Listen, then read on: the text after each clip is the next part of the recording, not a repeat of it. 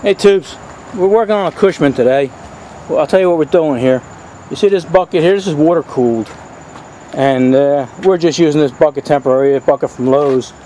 And I don't know if you've seen any of the videos, but you know, it's just splashing all over the place. So we're trying to figure out a, a, a decent, something decent that looked decent and and would function. So what we did is uh, I got a fire extinguisher. Show them a fire extinguisher racer. No, on the, on the machine. Oh, Simulate. knock it up. Let's simulate it. All right. We're going to go with this. That would make it look interesting and just plumb it. But uh, that's only two and a half gallons. So uh, that wasn't going to work out for us. So I was able to find this uh, this baby milk jug. Doesn't look big. Throw that on there, right? Eraser there. And uh, I think that'll work. It'll, it'll look period. It'll look different, interesting. And uh, what we're going to do is we're going to get uh, some copper coil and show them where the copper coil is going, Racer. Uh, we're gonna come out of here, Right.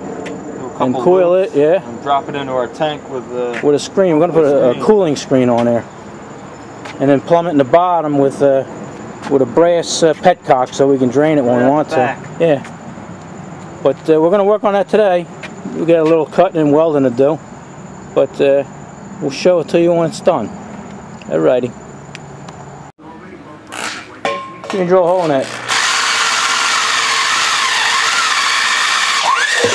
Ay, ay, ay.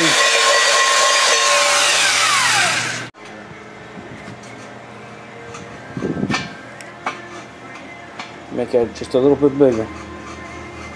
Alright, try it on for size. How's it looking? It looks pretty perfect. Yeah? Alright, Pretty much perfect. we'll weld that on. I think maybe we can cut that in half. I could. Alright. Let's weld her up. Fabricate. There you go, two kids to look at it during the day. Made a little racer, put that coil on there, the milk tank. And he's got it running. Got it running pretty good. See the way he's got it run nice and slow? When I had it run at the show, it was jumping all over the place. He seems to have a touch with this little thing. Anyway, this coil idea was Little Racer's idea. I was going to have it come around this way. And he said, how about going down this way? And I said, that sounds like a good idea, and I like it. See that? It's just punching, pushing water out of there. It's not splashing or nothing.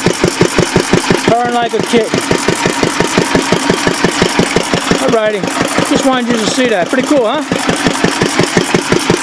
Get it ready for the next Jacktown show. Alrighty. Say goodbye, Race.